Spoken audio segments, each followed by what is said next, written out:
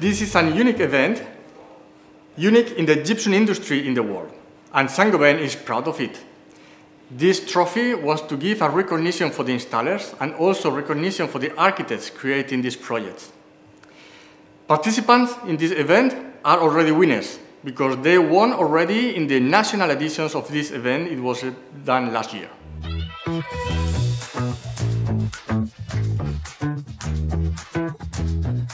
Projects are becoming more complex every year, and fortunately, they are integrating more and more solutions from Saint-Gobain every year.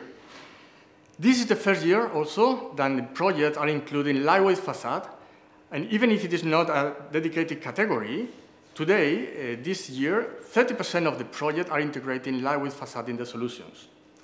All these projects are proof that aesthetic, technical performances, safety, and sustainability can perfectly match in a new construction.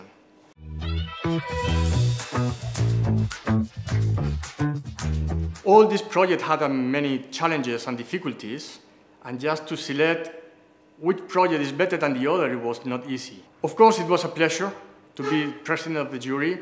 At the same time, it was easy because of the high level of the jury members. It was uh, really nice, supporting all the discussions and all the decisions.